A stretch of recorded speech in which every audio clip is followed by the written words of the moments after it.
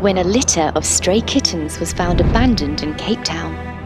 Vets had no idea that one of them would turn out to be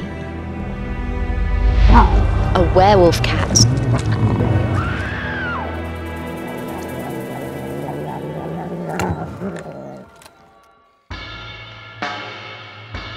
Officially known as a Lykoi, this is an incredibly rare breed, especially in South Africa.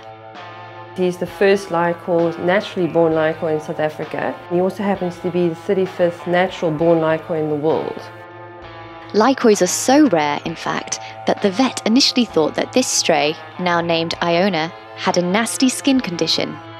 So she did skin biopsies and we sent it away and the confirmation came back that he had no skin disorders, that he was an unknown breed. Developed by breeders in the US, Lykois have only been recognised as a breed for six years. What's more, experts are baffled by naturally occurring litters of feral Lykois around the world.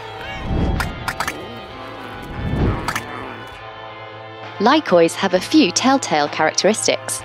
His ears and his nose as well has a very leather feel to it. And then of course the look he has, which is the wolf look, where he's got the, the salt and pepper black and white hair and obviously the hair loss on his body.